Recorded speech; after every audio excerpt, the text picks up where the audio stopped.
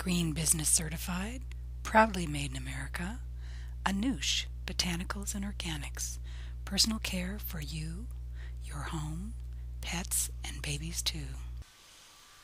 Greetings, Anoushians. Today we'll talk a little bit about corn. You know, it's a great shame, but 80% plus of planted corn in the United States is genetically modified.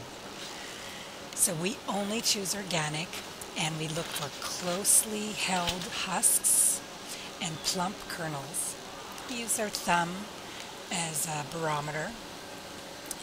A local farmer told us about that here in California at a farmer's market. And a good husk resists, makes this little squeaky noise when you separate the leaves. You want to pull them down towards the shank. And then once stripped, hold the leaves in one hand, the cob in the other, and pull off any silks and give it a twist. And sometimes they snap right off, which is from a healthy husk.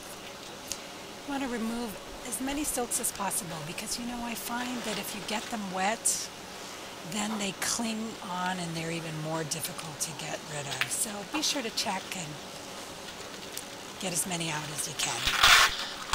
Again, just to repeat, pull the husks down. You get a little rhythm. You could even uh, turn on some music and get the job done really simply. We'll speed it up here so you don't have to rewind. And uh, in the foreground, or on the left side of the screen, you'll see our lemongrass. Our shrubs are three to five feet high and wide, and uh, just glorious in recipes with corn. So a little reminder, do save those husks for the compost pile. Your garden will love it. And uh, here we are rinsing with uh, veggie wash that easily suds over and rinse well, looking for any little tidbits of dust and particles and squigglers. Again, removing as many uh, as possible. The yellow corn is higher in carotenoids and the white has less starch and is more sweet.